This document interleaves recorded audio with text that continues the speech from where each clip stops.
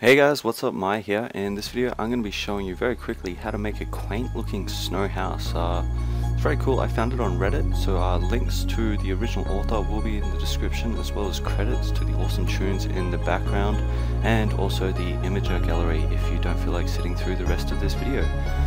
Thanks for watching, cheers!